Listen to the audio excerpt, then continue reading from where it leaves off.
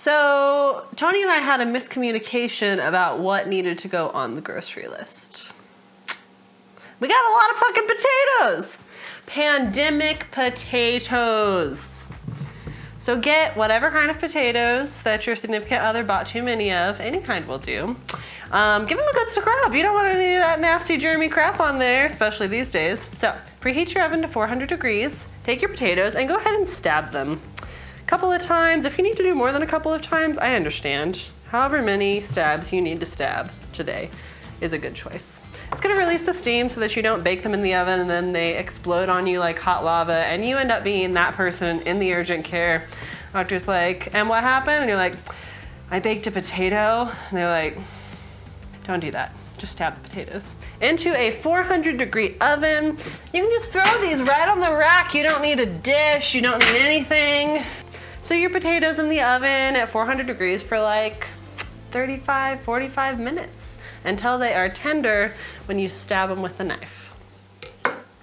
So while your pandemic potatoes are baking, what I would like for you to do is get out your blender and then I want you to go to your fridge and pull out whatever wilty green herbs you bought in a fit of panic at the grocery store and we're gonna make a sauce with it, okay? Let's go, you're gonna need some oil. You might need a knife, I don't know. Definitely gonna need a blender, food processor, a mortar and pestle, or in the absence of that, maybe a bowl in the bottom of a jar. Let's see what we got. Okay, so we have an orange, a lemon, oh fuck, a lime, garlic, oil, some wilty parsley, some nearly dead cilantro, and some baby kale. All right, so what you're gonna do is just take your blender and just take some of this kale and stuff it down in there. You know, like, I don't know, like a packed half cup, maybe three quarters, it's difficult to say. Take your wilty cilantro. I don't wanna talk about how much of my life I have wasted picking cilantro off of its stems. We're not gonna do that today, so just rip off most of the leaves and throw them in. If a little stem gets in, it'll be okay. That's rotten. That's fine, keep that. Okay, in that goes, that's probably like a packed quarter cup of cilantro.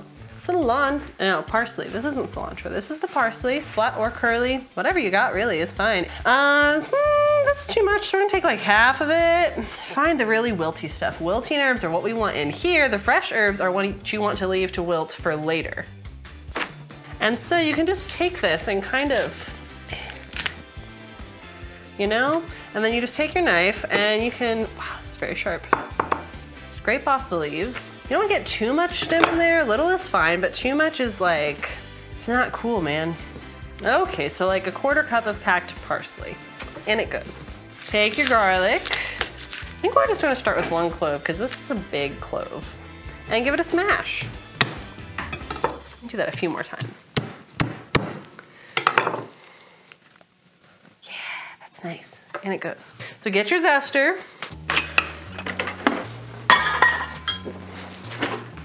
And I washed these with soap and water maybe three times. I don't know, I felt a little bit compulsive and stressed. So now we're just gonna zest these in here, but this is totally your call. You can just use some of the juice.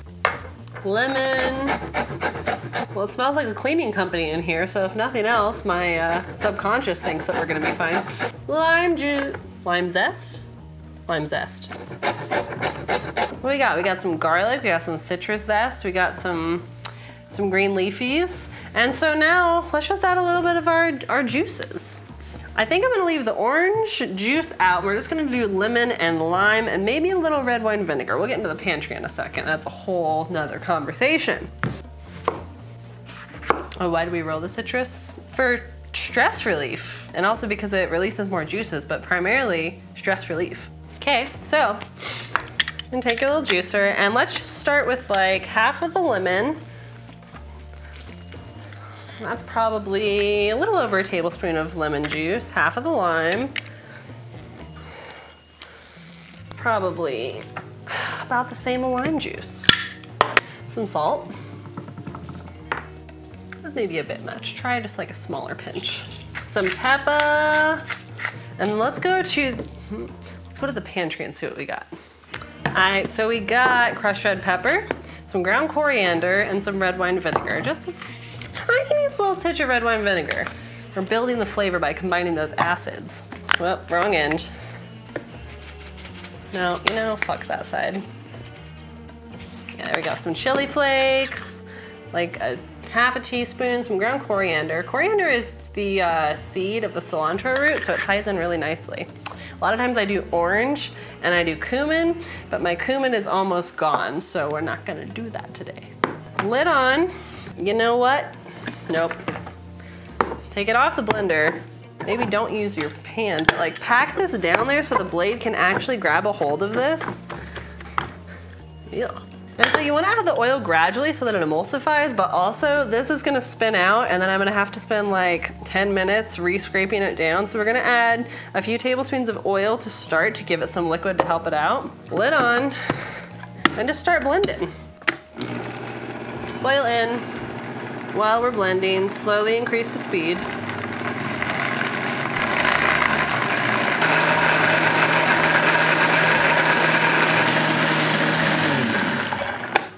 And once it's running, you stop adding the oil and you just let it go until it grinds those herbs up and they just give themselves up into our sauce.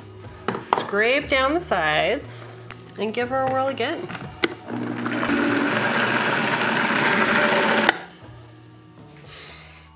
Give it a taste. Ooh, oh. It tastes very green. It needs a little bit more acid, but that's great because if you overwhelm it with acid, it's really hard to get back from there. So let's do a tiny pinch of salt. I think some red wine, some more citrus.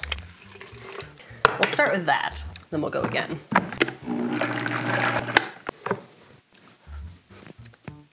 That's what it needed. So now, if it tastes flat, you either need salt or you need citrus, okay? If it kicks you in the teeth with the acid, you need to balance it with the fat, which is gonna be your oil, uh, or sugar. You can balance it with a little sugar like honey, granulated sugar. I don't know, whatever the fuck you got. Oh, it's almost there. I want it to be just a little more garlicky, so we're gonna add like a little bit more garlic. Maybe like half of this clove. I don't know what I'm gonna do with half a clove of garlic later. We'll figure it out when we cross that bridge. Some more pepper.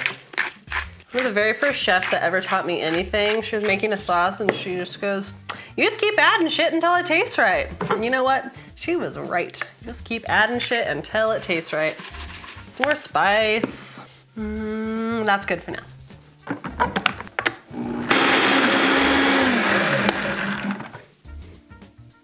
That. That's what we're looking for. That is punchy. It doesn't, it doesn't say to me one flavor. I don't taste that and think lemon. I don't taste that and think garlic. I taste that and I'm like, oh, oh, it's nice. It's very nice. That's what you're going for. You got like a nice green sauce here. And so now all you gotta do is clean up your shit and then wait for the potatoes to finish cooking. So I'm just gonna pour this green sauce into a clean looking container so that I feel less disgusting about my life and the situation. Didn't get a spatula, I didn't really think this through. This, I do not feel less gross now. so these potatoes, once their potatoes come out, you wanna make sure that they're cooled before you go smashing on them. And you just take your potato and you just lean into it until it kind of lets go. That was maybe a little bit too let go. We're gonna try to use a little less force on the next one. She wants them to hold together a wee bitsy.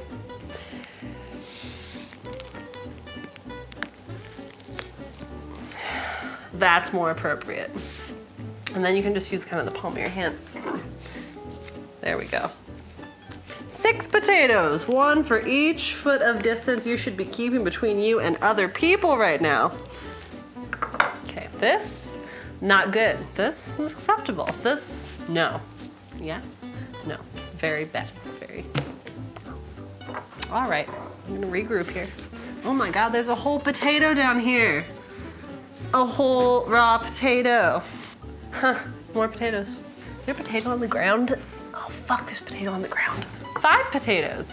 We're not gonna worry about him. That can be used for something later. We'll scramble that into a hash, our eggs, God knows. Okay.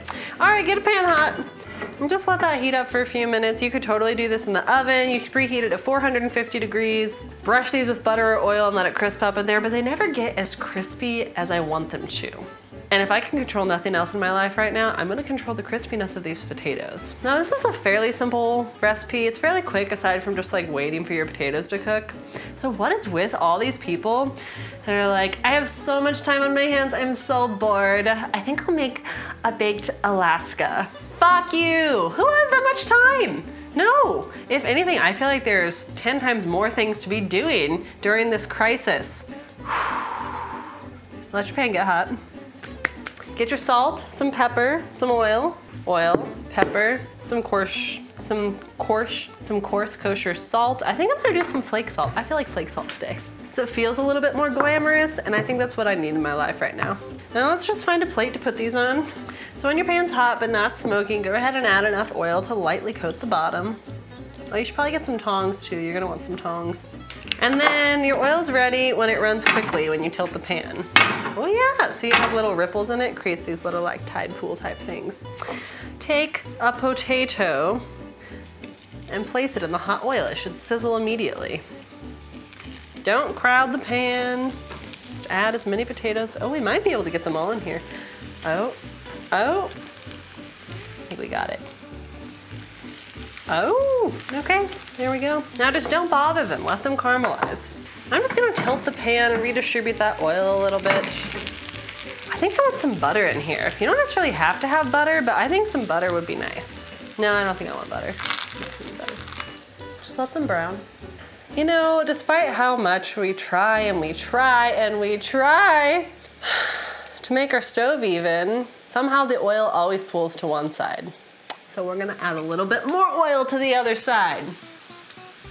I have no clue where that went. Okay, so just come in here we're just gonna check in and see. Oh, oh, very nice. We're getting a little brown there. I'm gonna rotate because check your flame. Yep, sure enough. You wanna make sure the heat's like hotter in this part. So rotate your potatoes, your pandemic potatoes Fuck.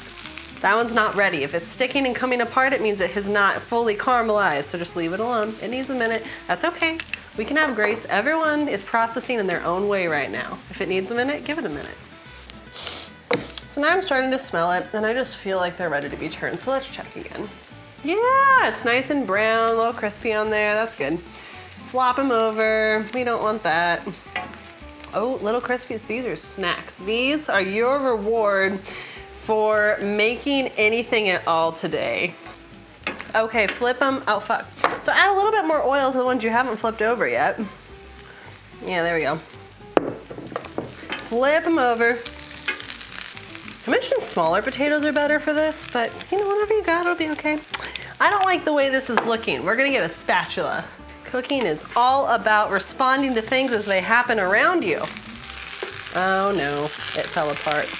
That's okay. It's pretty good. No big deal.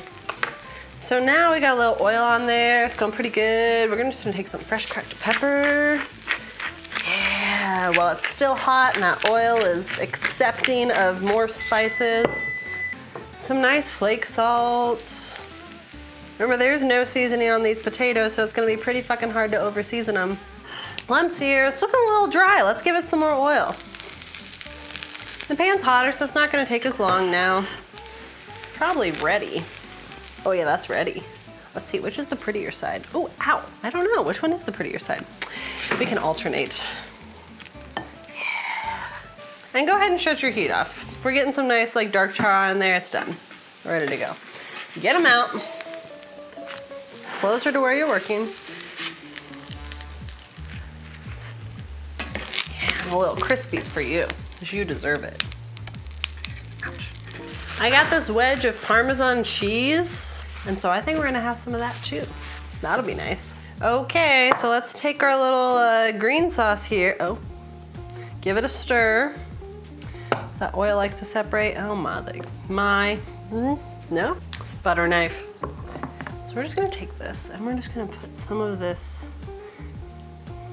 green herby sauce onto our potatoes. I think a good amount. They need it. We need it. I need it. And then find your grater you already threw in the sink. Yep. Grate some of that parm cheese. You can use ricotta. You can do whatever the fuck you want. It's a pandemic. These, my friend, are pandemic potatoes. Thank you so much for watching. I hope you're doing okay. Keep your chin up. You're doing a fantastic job. Support your local restaurants if you can. We're all gonna make it through this. Enjoy.